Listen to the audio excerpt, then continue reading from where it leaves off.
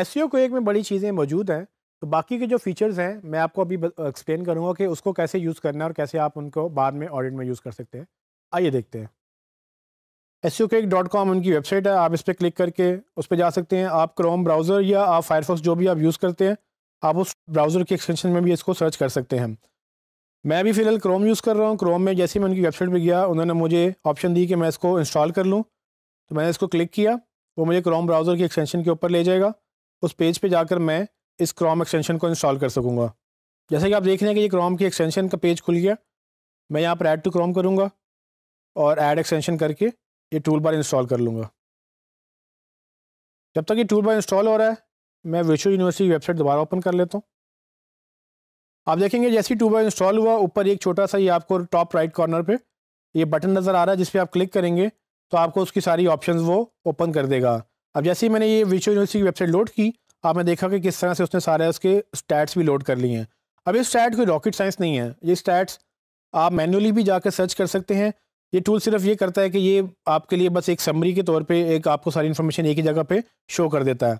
अब मैंने for example विचुअल university का एक ऑडिट करना है और मैंने इस क्लाइंट को कमिट किया है कि भाई मुझे, मैं आपको ऑडिट करके दूँगा आपकी मैं गलतियाँ बताऊँगा, उसके बाद डिसाइड करेंगे कि हमने इस पर क्या क्या करना है? तो आप देख सकते हैं कि ऊपर ये एक छोटी सी बार चल रही है, जिसमें मुझे काफ़ी इन्फॉर्मेशन वैसे ही नज़र आ रही है। सबसे पहले मुझे क्या नज़र आ रहा है कि इसके ये गूगल में कितने जो हैं वो पेजेस हैं, इसके तकरीबन 1.36 थाउज़ेंड मतलब कि 1300 से 1400 पेजेस इसके गूगल में इंडेक्स हैं ऑलरेडी अगर आप इस पर क्लिक करेंगे तो वो आपको बाकायदा गूगल पे जाकर साइट कॉलन उसका जो है V U dot E D U dot P K domain सारे यू जो है वो निकाल देगा। और जैसे ही इसमें एक और चीज़ भी इंपॉर्टेंट है कि अगर आप ये टूल बाय एक्सटेंशन इंस्टॉल करेंगे और आप जब गूगल में सर्च करेंगे तो आपको हर टूल के नीचे इस तरह की एक इन्फॉर्मेशन भी दिखाएगा कि इस लिंक के क्या स्टैट्स हैं। तो आपको बजाय इसके के पेज पे जाकर आप उसको चेक करें, आप यहाँ पर भी चेक कर सकते हैं।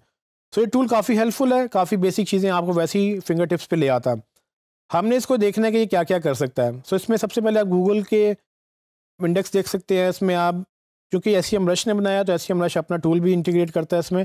तो इसमें एस रश के भी स्टैट्स आ रहे हैं, जिसमें बैकलिंक्स की क्वांटिटी आ रही है लिंक्स की डोमेन की बैकलिंक्स की क्वांटिटी आ रही है, फिर बिंग में कितने पेजेस इंडेक्स हैं, वो भी आ रहे हैं। आप जिस भी लिंक को आप वेरीफाई करना चाहें, आप उस पर क्लिक करें, उसको ओपन कर लें।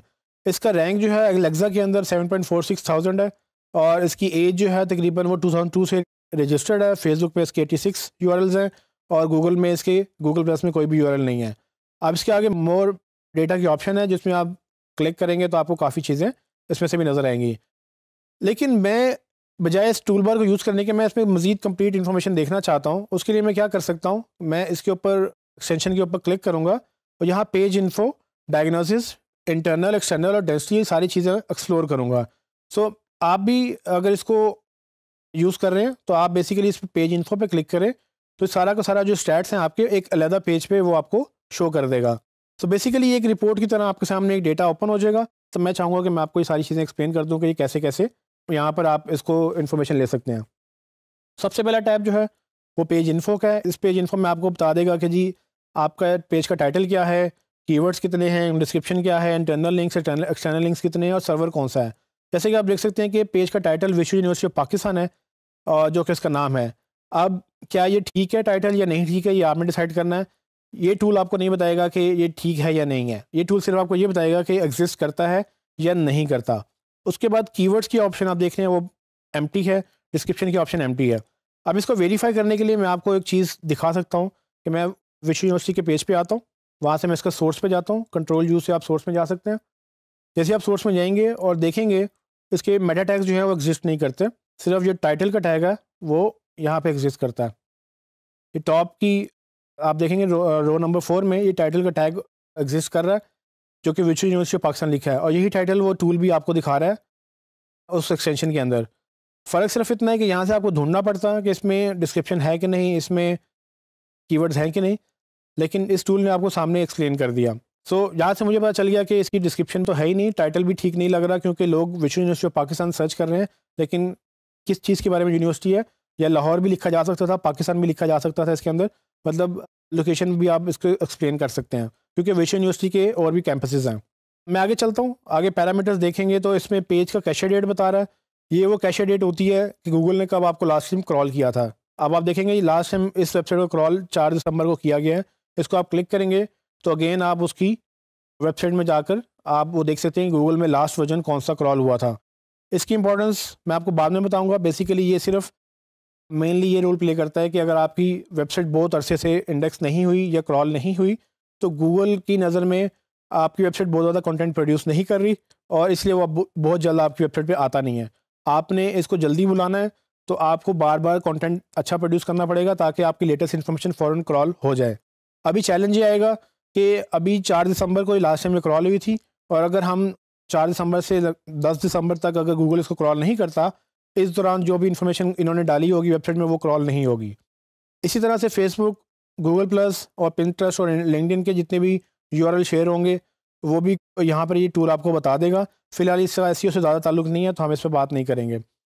आगे चलें तो डोमेन के, मैंने आपको जैसे पहले बताया टूल बार में नज़र आ रहे थे कि गूगल में कितने इंडेक्सड हैं याहू में कितने इंडेक्सड हैं बिंग में कितने इंडेक्सड हैं एलेक्सा में कितना रैंक है, ये सब टूल आपको ईजिली यहाँ पर रैंकिंग्स के यहाँ पर सारे स्टैट्स बता देगा, जो कि आपको मैनुअली सर्च नहीं करने पड़ेंगे। इसकी एज क्या है वो भी आपको यहाँ से पता चल जाएगी। बाकी ये जो आप सर्कल देख रहे हैं basically S C M rush का लोगो है। इन सर्कल्स ये जितनी भी इन्फॉर्मेशन है ये पेड टूल है एस सी एम रश अगर आप पेड टूल ख़रीदेंगे तो वो आपको यहाँ से इन्फॉर्मेशन निकाल देगा। अक्सर एरर आता है। एरर का मतलब ये है कि टूल में मसला है। इसका मतलब ये नहीं कि आपकी एक्सटेंशन में मसला है। सो so, बाकी अगर जॉन्डक्स का आप देखें सर्च इंजन तो उसके भी यहाँ पर काफ़ी स्टैट्स हैं। अगर आप जॉन्डक्स का सर्च इंजन यूज़ कर रहे हैं या उसके लिए एस e कर रहे हैं तो आपके लिए स्टैट्स इंपॉर्टेंट है। मैं नीचे जाऊँगा बैकलिंक्स का डेटा आपकी वेबसाइट के कितने बैकलिंक्स हैं, ये आपको बेसिक टूल इन्फॉर्मेशन यहाँ पर ही मिल जाएगी। एस रश पेड टूल है, अगर आप एस e कर रहे हैं और आपने टूल लेना है कि जिसमें आप बैकलिंक्स मॉनिटर कर सकें क्रिएट कर सकें तो आपके लिए बड़ा अच्छा टूल है। सो आप जब इसको बाय करेंगे तो आपको ज़्यादा डिटेल में डेटा मिलेगा। अभी मैं इस पर क्लिक करूँगा तो शायद मुझे फ्री वर्जन में डिटेल में डेटा ना मिले। सो आपने ये देखना है कि अगर आप पेड पैसे देना चाह रहे हैं या अपने क्लाइंट से कहेंगे पैसे देना चाहता है वो तो इस टूल को बाय करें ताकि आपके पास ये डेटा ज़्यादा एक्सेस में हो। जैसे कि आप देखेंगे मैंने उस पर क्लिक किया था, वो एस रश की वेबसाइट पे मुझे ले गया और वहाँ जाके मुझे वो बैकलिंक्स के टैब में, ये लेफ़्ट कॉर्नर पे आप देख सकते हैं कि मैं बैकलिंक्स के टैब में हूँ। यहाँ पर वो ये बताएगा कि बेसिकली इस वेबसाइट के कितने बैकलिंक्स हैं। जैसे कि आप देख सकते हैं कि उसने मुझे कहा कि लॉगिन करें और आई डोंट नो कि मैं लॉगिन किए बगैर इसको देख सकूँगा कि नहीं। वो मुझे लॉगिन नहीं करने दे रहा। सो इसका मतलब ये है कि हम इसको फ्री वर्जन में शायद ना देख सकें। तो आप ये याद रखिएगा कि हमने ये टूल फ्री डाउनलोड किया है, जिसमें फ्री स्टैट्स हम यूज़ करेंगे। आपको कोई ज़रूरत नहीं है पेड इन्फॉर्मेशन देने की, जब तक आपको क्लाइंट पे ना करें। नेक्स्ट है कीवर्ड डेंसिटी का सेक्शन जिसमें आपको ये टूल बड़े अच्छे तरीके से ये बताता है कि आपके टोटल पेज पे कितने वर्ड्स हैं और हर पेज के ऊपर सिंगल वर्ड कितने की वर्ड्स हैं और उनकी डेंसिटी क्या है। वो कहाँ पर टाइटल में है कि नहीं, उसको कितनी दफ़ा रिपीट हो रहा है और उसमें से उसकी डेंसिटी क्या बनती है। आपको याद होगा कि हमने डेंसिटी डिस्कस की थी ऑन पेज के अंदर कीवर्ड डेंसिटी मैटर करती है। अगर आपने ये पेज एक पर्टिकुलर कीवर्ड की अगेंस्ट ऑप्टिमाइज़ किया है तो आप देखना चाहेंगे कि वो कीवर्ड एक्चुअली कितनी दफ़ा रिपीट हुआ उसकी डेंसिटी क्या शो हो रही है। सो ये आप मैनुअली करेंगे तो मुश्किल हो जाएगा टूल आपको ईजिली बता सकता है। Single word double word three words और फोर वर्ड्स आपने अगर फोर वर्ड यूज़ किए हैं तो उसकी एक फ्रेज़ जो है लॉन्ग टेल कीवर्ड में, उसकी डेंसिटी क्या बन रही है? तो आप देखेंगे यूनिवर्सिटी ऑफ़ पाकिस्तान बेसिकली पाँच दफ़ा रिपीट हो रहा है और टोटल पेजेस के जो वर्ड्स हैं, उसमें से तकरीबन फाइव परसेंट डेंसिटी है इस कीवर्ड की, जो कि टाइटल में भी आ रहा है। आप जहाँ से भी देखेंगे कि टाइटल में डिस्क्रिप्शन में या कीवर्ड में ये ये जो है कीवर्ड रिपीट हो रहा है कि नहीं हो रहा। पहले ये इसका पेज इन्फो का पेज था, उसके बाद मैं डायग्नोसिस में जाऊँगा, जिस तरह से एक डॉक्टर डायग्नोसिस करता है आपकी प्रॉब्लम का, ये टूल भी डायग्नोसिस करता है प्रॉब्लम्स वेबसाइट के अंदर। सो आप ऊपर देख सकेंगे कि सबसे ऊपर वो बता रहा है कि इसके टेस्ट के मुताबिक आठ ऐसे एलिमेंट्स हैं जो पास हैं, सात में एरर है और सात में वार्निंग्स हैं। इसको देख सकते हैं मजीद कि ये क्या क्या ऑप्शन दे रहा है। सबसे पहले पेज ऑडिट में पेज एनालिसिस होता है यू एग्जिस्ट करता है, ठीक है, ट्वेंटी सिक्स करेक्टर है, ठीक है, लेकिन मुझे ये पता है कि ये यू ठीक नहीं है, क्योंकि इसमें जो एक्स्ट्रा इन्फॉर्मेशन आ रही है default dot A S P X ये नहीं आनी चाहिए, ये इरेलीवेंट इन्फॉर्मेशन है V U dot E D U dot P K पे अगर यू ओपन हो जाए तो वही इनफ है, हमें आगे इन्फॉर्मेशन नहीं चाहिए। टूल मुझे चेक मार्क देकर बता रहा है कि ठीक है, लेकिन मुझे पता ये ठीक नहीं है। सो यहाँ पर डिफरेंस आएगा कि टेक्नोलॉजी आपको ब्रेन वर्क करके नहीं देगी, दिमाग आपने अपना लगा के देखना कि इसमें क्या ठीक है या क्या नहीं ठीक है। तो इसको मैं ठीक इस तरह से नहीं कहूँगा। डोमेन छोटी है yes good enough but domain में एक्स्ट्रा करेक्टर्स हैं जो कि मुझे नहीं चाहिए। मैं क्लाइंट से बात करूँगा कि भाई इसको आप रिमूव करवाएँ, क्योंकि ये हमें नहीं चाहिए। या आप अपने डेवलपर से खुद रिमूव करवा सकते हैं।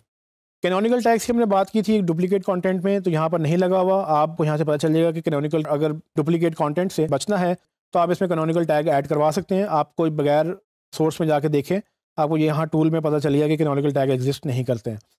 टाइटल थर्टी करेक्टर्स का है, वो बता रहा है कि ठीक है, लेकिन एक्चुअली ये ठीक नहीं है। उसकी रीज़न ये है कि हमारे पास टाइटल की लिमिट सिक्सटी फाइव से सेवेंटी करेक्टर्स तक की होती है। आपने सिर्फ़ थर्टी करेक्टर यूज़ किए हैं बाकी स्पेस आप एम छोड़ रहे हैं। ये एक मार्केटिंग अपॉर्चुनिटी है जो आपने मिस की। यहाँ पर आप अपना कीवर्ड डाल सकते हैं, यहाँ पर आप बेहतर तरीके से टाइटल लिख सकते हैं। जब आपके पास स्पेस है तो आप उसको क्यों ना यूज़ करें? तो बेसिकली टूल आपको ठीक बताएगा लेकिन आपने दिमाग से सोचना है कि क्या ये ठीक है या नहीं है। Based on the information I provided जितना भी मैंने कोर्स अभी तक पढ़ाया आपको, उसके मुताबिक आपको पता होना चाहिए कि ये टाइटल ठीक नहीं है, और उसके हम अगेंस्ट कीवर्ड रिसर्च करेंगे, उसको बेहतर करेंगे। डिस्क्रिप्शन नहीं है, जैसा कि हमने पहले भी देखा डिस्क्रिप्शन एग्जिस्ट नहीं करती ज़ीरो करेक्टर्स ये होनी चाहिए कि नहीं होनी चाहिए? ये कम अज़ कम वन सिक्सटी होनी चाहिए, लेकिन थ्री हंड्रेड तक भी अलाउड है अब अब डिपेंडिंग ऑन गूगल उसको कैसे शो करता है। तो आप ये इन्फॉर्मेशन भी यहाँ से देख सकते हैं। और फिर इसी तरह से कीवर्ड्स कीवर्ड का हमने देखा था कि वो गूगल कंसिडर नहीं करता, कुछ लोग इसको रखना पसंद करते हैं, कुछ लोग नहीं करते। सो इसका होना ना होना ऑलमोस्ट एक ही चीज़ है। सो आप अगर नहीं भी रखेंगे तो भी ठीक है, अगर क्लाइंट इसको रखने को कहता है तो आप कीवर्ड्स भी रख सकते हैं। फिर आप देखेंगे आगे हेडिंग्स में वो बता रहा है कि कितनी हेडिंग्स है पेज के ऊपर। तकरीबन उसने बताया कि एक एच वन हेडिंग है, बाकी सब ज़ीरो ज़ीरो बता रहा है। ये एच की हेडिंग्स हैं और एच वन के अंदर बेसिकली वो भी ओरिजिनल टैक्स तो यहाँ से आपको ये पता होना चाहिए कि एच वन की हेडिंग्स हैं या नहीं। अगर हैं, कितनी हैं? और अगर एच वन की हेडिंग एक से ज़्यादा है तो इसका मतलब ये प्रॉब्लम है।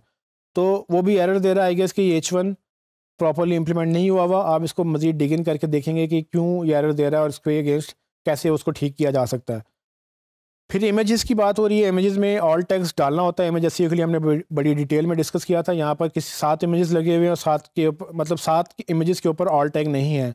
टोटल इमेजेस कितने हैं? आई डोंट नो लेकिन सात ऐसे इमेजेस हैं जिनके ऊपर ऑल टैक्स नहीं लगे हुए।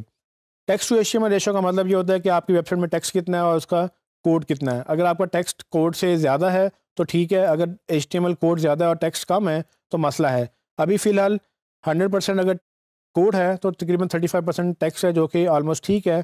मिनिमम फिफ्टीन परसेंट होता है मैक्सिमम आप fifty sixty seventy eighty percent जितना भी आप कर सकें, आपके लिए बेहतर है। फ्रेम्स एक डेवलपमेंट टेक्नोलॉजी है, जो कि अब गूगल पसंद नहीं करता।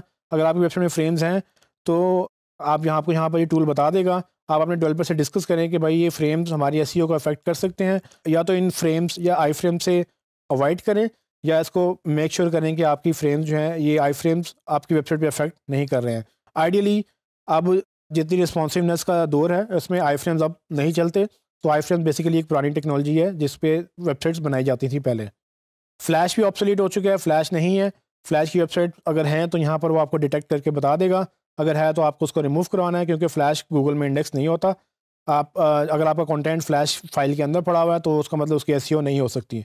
तो अगर आपको क्लाइंट फ्लैश की वेबसाइट एस करने के लिए दे तो आप उससे कहेंगे कि वेबसाइट दोबारा बनानी पड़ेगी। लेकिन अगर आपको यहाँ पर फ्लैश नहीं मिलता विच इज़ गुड इनफ तो वो आपके लिए ठीक है।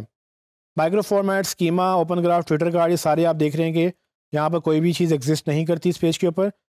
गूगल ये टूल आपको इन्फॉर्मेशन प्रोवाइड करता है, यहाँ से आप वन क्लिक करके इसको आप चेक कर सकते हैं कि इसमें माइक्रो फॉर्मेट या स्कीमा वगैरह लगे हुए या नहीं। हमने पहले भी टेस्ट किया था इसको, इसमें नहीं थे। ओपन ग्राफ टैग्स भी मैं आपको बता चुका हूँ कि सोशल एस या एस सोशल मीडिया के अंदर अगर आपने अपनी इन्फॉर्मेशन बेहतर करनी है तो आप ओपन ग्राफ टैग लगाते हैं। इस वेबसाइट पे हैं कि नहीं, आपको ये टूल आराम से बता देगा ओपन ग्राफ के बारे में भी और ट्विटर कार्ड के बारे में भी। ए मैंने आपको बताया था कि ए एक और डिफरेंट वर्जन है, जिस तरह से गूगल फेसबुक ने अपना फेसबुक इंस्टेंट पेजेस लॉन्च किया था गूगल ने ए लॉन्च किया था।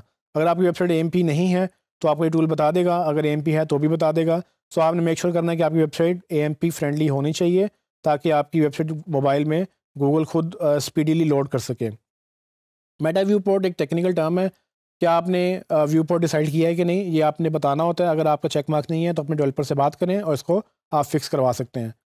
Robots dot T file XML site में हमने डिस्कस किए थे, दोनों एग्जिस्ट करते हैं।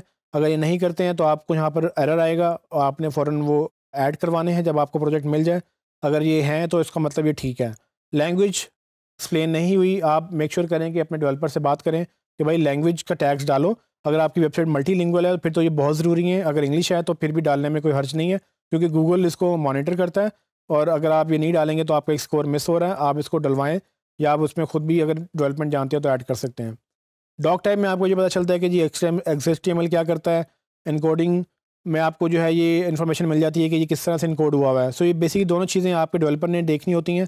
आपको डॉक टाइप क्या है, वो डिपेंड करता है कि आपने वेबसाइट किस टेक्नोलॉजी में बनाई है। तो अगर वो ठीक आ रहा है तो इसका मतलब ठीक है। इनकोडिंग भी अगर नहीं ठीक आ रही है तो उसमें डेवलपर से कहें कि इसको ठीक करें।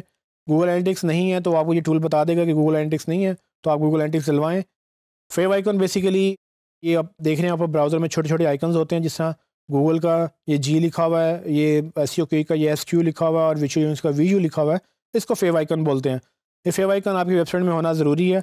अगर आज नहीं होगा तो ऊपर ये ऐसे ब्लैंक यहाँ पर ये इन्फॉर्मेशन नहीं आएगी। ये यूज़र एक्सपीरियंस के लिए एक इंपॉर्टेंट फैक्टर होता है। अगर आप ये डालेंगे तो गूगल में और बाकी जगहों पर ये आपका यू विजिबल होगा। आपको नहीं पता तो आप अपने डेवलपर से बात करें कि कैसे ऐड करवाना है। इसी तरह से इंटरनल और एक्सटर्नल लिंक्स की यहाँ पर आपको डिटेल मिल जाएगी। अगर आपकी वेबसाइट में अपने ही इंटरनल लिंकिंग जैसे हमने डिस्कस किया था, आपकी वेबसाइट में इंटरनल लिंकिंग हुई हुई है तो आपको यहाँ सारे लिंक्स मिल जाएँगे कि इस पेज से बाकी पेजेस पे कौन कौन से लिंक्स जा रहे हैं। तो आप यहाँ से उनको ऑडिट कर सकते हैं। अगर आपको लग रहा है कुछ ठीक नहीं है तो आप उसको देख सकते हैं कि वो कैसे ठीक करना है। अगर आपको आपकी वेबसाइट से बाकी वेबसाइट पर लिंक्स जा रहे हैं तो आप देख सकते हैं कि एक्सटर्नल लिंक्स कौन कौन से हैं। तो यहाँ से आप ऑडिट कर सकते हैं कि आपने कौन से लिंक्स हटाने हैं, कौन से लिंक्स रखने हैं। अगर कोई लिंक नहीं ठीक तो आप उसको यहाँ से बताएँगे कि देख सकते हैं ईजीली कि भाई ये लिंक्स क्यों हैं। तो अगर आपको कोई हिडन लिंक है जो नज़र नहीं आ रहा देखने में, लेकिन वो भी आपको यहाँ पर ये टूल आपको आराम से निकाल देगा। डेंसिटी का एक और टैब है। डेंसिटी में जैसे कि हमने पेज इन्फो के पेज पे देखा था कि नीचे डेंसिटी के उसने टॉप टेन हमें कीवर्ड्स दिखाए थे। डेंसिटी में एक्चुअली बेसिकली डिटेल में आपको सारे के सारे कीवर्ड आपको मिलेंगे।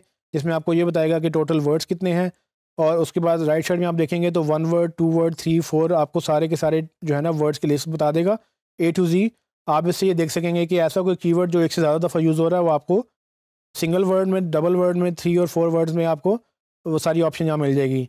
यहाँ से आप ये देख सकते हैं कि आपको कीवर्ड कीवर्ड का है तो क्या थ्री वर्ड्स के वो इतनी डेंसिटी है उसकी जितनी आपको चाहिए थी, और उसकी क्या उतनी प्रोमिनेंस भी है, और कितनी दफ़ा वो रिपीट हो रहा है।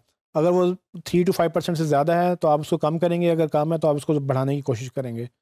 और आपका एक्चुअली ओरिजिनल जो टैक्स है, पूरी वेबसाइट में कितना है, वो सारे के सारे यहाँ से ये टूल उठा के आपके सामने रख देगा। इससे आपको ये भी पता चल जाएगा कि एक्चुअली टैक्स है कितना। आपको देखने में कुछ और लग रहा होगा, लेकिन यहाँ पर एक्चुअली कुछ और आ रहा है।